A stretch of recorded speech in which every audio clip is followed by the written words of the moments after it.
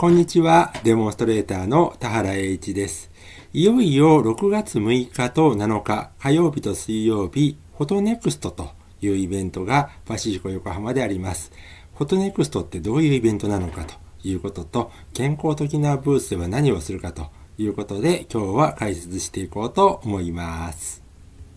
まず、フォトネクストというイベントですね。これはフォトネクストのあのホームページ、サイトなんですけども、Photographers Photo Business Fair とありますね。フォトネクスト2023。プロ機材商材、セミナー、写真商品、衣装展示販売、あ、衣装展示即売ですね。業界最大スケールのイベントということで、2023年6月6日は10時から18時、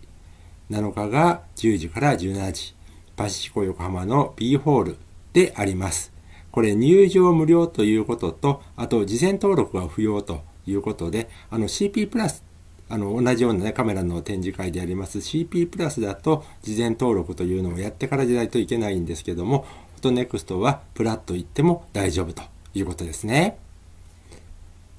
さて、まあ展示会というと新製品は何ですかっていう方が多いんですが、フォトネクストに関してはちょっと違うかもというふうに私自身は思っています。まあ、これいろんな意見がありましてね、あの、健康的な中でもやっぱり新製品は何と新製品の展示の方が大事という方ももちろんおられるんですが、実際私はこのイベントずっと参加してきて、ものよりもこと、商品そのものよりもそれをどう使うかを発信する場というふうにこのショーを感じています。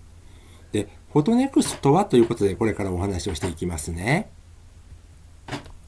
フォトネクストの経緯ということで解説していきたいと思います。これ、ウィキペディアに、えー、これはね、フォトエキスポの歴史ということで書いてまして、まあ、その中にフォトネクストの経緯というのが明らかにされてるんですけど、フォトエキスポっていうのは、まあ、昔あった日本のカメラショーとラボ賞が合体したものなんですが、この歴史を見ますと、1960年に第1回日本カメラ賞開催。そして1966年に第1回ラボ用機材展示会開催。後にラボシステム賞に名称変更ということで、これがラボの展示会ですね。そして1970年に第1回フォトアクセサリー賞。後に写真映像用品賞に名称変更ということで、この辺りが業界3つの賞です。そして1972年に第1回国際プロフォトフェア。これが IPPF という賞で、これは実際はね、富士山系グループが主催する賞ということで、この辺りがカメラの関係の賞が1960年代、70年代にスタートしたということですね。そして、1995年、日本カメラ賞と写真映像用品賞が併合してフォトフェスタジャパン95を開催とあります。実は私、田原栄一自身は1994年の入社で、最初に初めて行ったショーが、仕事で行ったのが名古屋の日本カメラショーだったんですけども、東京で初めて経験したのが、このフォトフェスタジャパン95ということで、これ私記憶残ってますね。えー、場所はね、えー、当時は池袋のサンシャインでやってたんですね。えー、サンシャインの文化会館側で写真映像用品賞をやってたんですけども、まあ、フォトフェスタジャパン95というタイトルがついてるんですが、中で会場が日本カメラ賞と写真映像用品賞に分かれてたというスタイルですね。そしてウィキペディアにありますこの97年以降、フォトエキスポに名称変更ということなんですけども、実はフォトフェスタっていう名前がですね、えー、北海道の写真首都と言ってる東川町という町があるんですが、その町のあの登録証書でフォトフェスタというのを取ってたんですね。だから、えー、フォトフェスエキスポに名前を変えたという経緯があります。そして2005年、フォトエキスポとラボシステムショー、国際プロフォトフェアを併合して、フォトイメージングエキスポ2005年を、2005を開催ということでありますが、これ IPPF、富士山系グループの賞が合併したというのは、実はこれ2005年は、このフォトエキスポの運営を富士山系グループがやってたという裏の経緯があるんですね。で、IPPF はこれ以降は二度と行われなくなるということになるんですが、この2005年に合併して2009年のフォトイメージングエキスポ開閉幕直後、この時東京ビッグサイトやってたんですけども、ここでカメラ映像機器工業会、これは CIPA ですけども、これが主催を離脱すると発表して、フォトイメージングエキスポ事務局が解散と。それまで東京ビッグサイトでやったショーが、えこれ東京ビッグサイトでですね、えカメラと写真用品と感材、フィルムの工業会と、あとはラボの工業会、4つの業界団体が一緒にやってたのが、バラバラになってしまったというのが2009年の終了後だったんですね。そこで2010年に、えー、3月 CP プラスをパシフィコ横浜で開催。そして6月にフォトネクスト2010ということで東京ビッグサイトで開催ということで2010年にフォトネクストが始まったということなんですね。で、実はこの歴史には書かれてないんですけども、フォトネクストの主催は、えプロメディアという会社がやってまして、えスタジオ NOW という本を出してる会社なんですけども、そこはもともとスタジオ写真フェアというのを独自でやってまして、そのスタジオ写真フェアとラボショーが合体したのがフォトネクストということなんですね。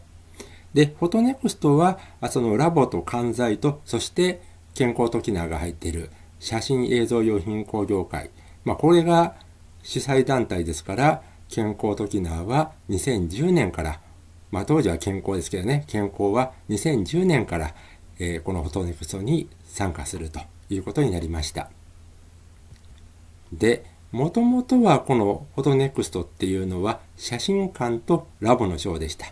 だから2010年にスタートした時は正直健康のブースにはあんまりお客さん寄らなくって、私自身も全然このショー面白くないなと内心思ってたんですけども、ころところがですね、ここ数年ですね、新規のフォトグラファーさんが参入してきてる。つまり、従来の写真館さんというよりも、新たにそのマッチングサービスというのがありましてね、写真を撮られたい人と写真をと、まあ、仕事として撮りたいフォトグラファーさんのマッチングサービスが活況になってきたということで、新規で、まあ、フォトグラファーがいっぱい増えてきたと。そうすると、あの、機材も売れるということで、私自身もこの賞にすごく乗り気になっています。そして女性比率も高いというすごい賞なんですね。で、このフォトネクストの特徴は製品を紹介するだけじゃなくって、その製品がどのように仕事に結びつくかというのがポイントだと思います。で、今回のこれは主催側のテーマはモアプロフェッショナルというふうに言ってまして、もともとこの写真を撮るサービスという仕事は新規のフォトグラファーがいっぱい参入してますから価格競争どんどんどんどん単価が下がってるという問題があるんですね。ただこの価格競争にしていくんじゃなくって仕事の質を向上することで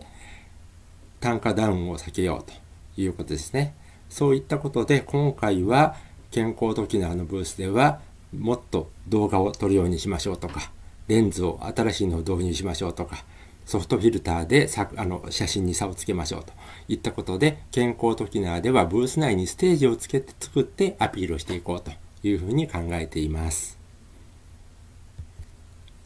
で、えー、これセミナールームとあるのは主催側が用意している大きな100人が入るぐらいの会場なんですが、6日の12時半から13時20分、ここで、えー、古木戸優香先生と、古木戸ゆか先生ね、古木戸ゆか先生と一緒に VA フレンズ、これはサムヤの例ですね、と、あとジンバル、モザのジンバルで撮るワンオペフォトブース動画撮影というテーマで先生に話をしていただきます。実はさっき、もう本当についさっきですけど、先生にパワーポイント送っていただきまして、拝見したんですけど、これが素晴らしいでできるですね、ぜひ皆さんにご覧いただきたいなと思ってます。で、これね、セミナールームで開催するのは一遍だけあるんですけど、それ以外でも自社ブース内でも、セミナー、古木戸先生に何とかやっていただきますので、ぜひ健康的なブースの方にもお越しいただければと思います。それ以外に健康的なブースでは、一つは三崎剛先生。この人はカメラの教室というところでまあ、指導されてる先生なんですけども、ソフトフィルターとオムニフィルターでクリエイティブフォトということで、いろんなフィルターの使いこなしの話。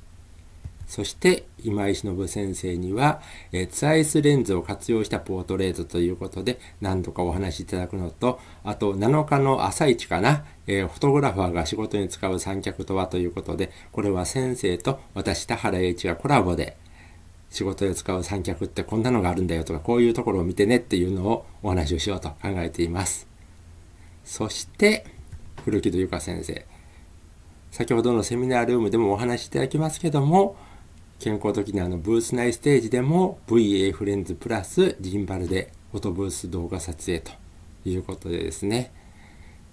まあこのね先生古木戸先生が作られるフォトブースっていうのがまた綺麗で素晴らしいんですけども動画のテクニックもすごいんですね。まあ是非そういったことで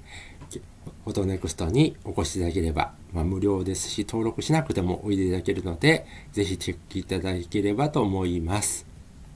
ということで、フォトネクスト2023、6月6日の火曜日と7日の水曜日、行います。パシフィコ横浜です。ぜひ健康的なブースにお越しください。